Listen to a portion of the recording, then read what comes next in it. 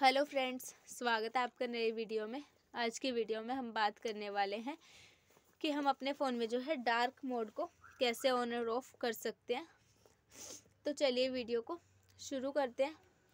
सबसे पहले अगर आप हमारे चैनल पे नए हैं तो चैनल को सब्सक्राइब और वीडियो को लाइक करना ना भूलें। जैसे कि आप देख रहे हैं, हमारे पास यह है, हमारे पास रियलमी का फ़ोन है, ये आप देख सकते हैं।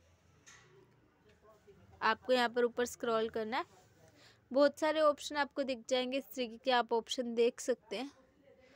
तो आपको यहाँ सेटिंग के आइकन पर क्लिक करना है। तो आपको यहाँ सेटिंग के आइकन पर जाना है। यहाँ पर जाने के बाद आप बहुत सारे और ऑप्शन देख सकते हैं। आपको इस तरीके से ऑप्शन दिख जाएँगे बहुत सारे।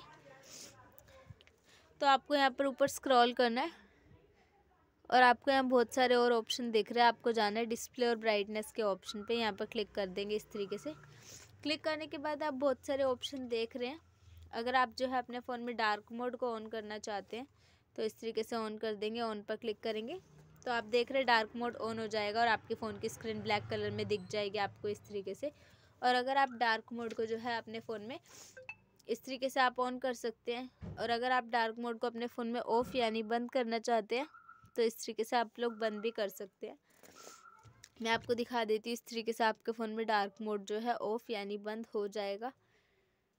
तो उम्मीद है फ्रेंड आपको वीडियो पसंद आई होगी। वीडियो पसंद आई है तो चैनल को सब्सक्राइब और वीडियो को लाइक करना ना भूलें। मिलते हैं नेक्स्ट वीडियो में।